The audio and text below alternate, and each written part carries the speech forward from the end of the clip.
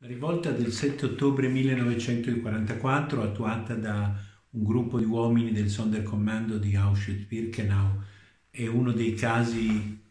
eh, più interessanti di eh, resistenza in situazioni estreme,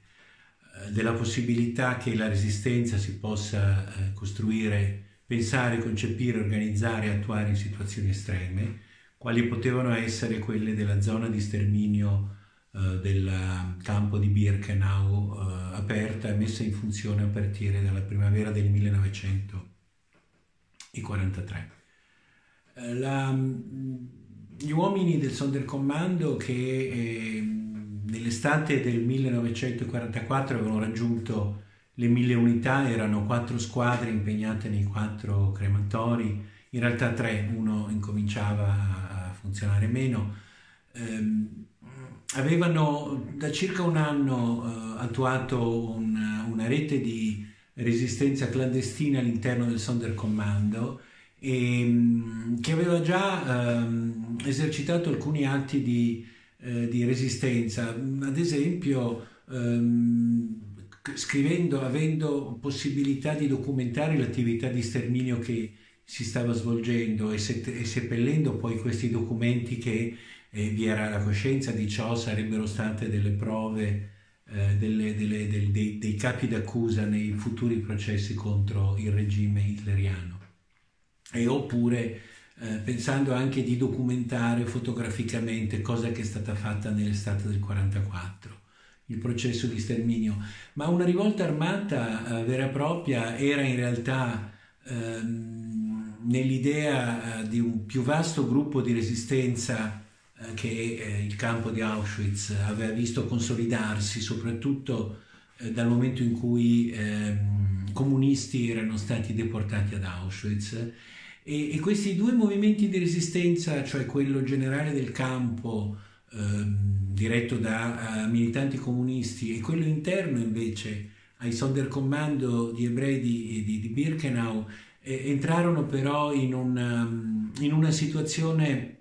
di conflitto per visioni strategiche opposte. Da una parte si intendeva eh, sì pensare anche a una possibile eh, sollevazione, ma si aspettava che l'armata rossa fosse più vicina, dall'altra, da parte dei Sonderkommando, c'era l'urgenza di agire il prima possibile. E, due, eh, questi due piani eh, strategici alla fine non portarono a un'intesa comune Um, nell'estate del 44 um,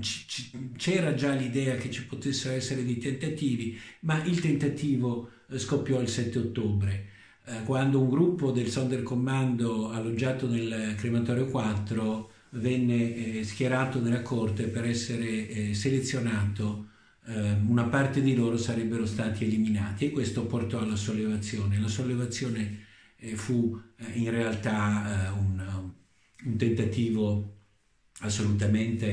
eh, assolutamente destinato a non, poter, a non, poter, avere successo, si portò all'evasione, alla fuga dal, dal recinto di un gruppo di 2, 250, 300 uomini dal, che riuscirono a uscire dal crematorio 2, distante qualche centinaio di metri eh, dal 4, dove si, si sviluppò la sollevazione ma eh, sia gli uomini del 2 che gli uomini del 4 nel giro di 24 ore vennero raggiunti e mh, mm, uccisi o eh, giustiziati all'indomani. Um,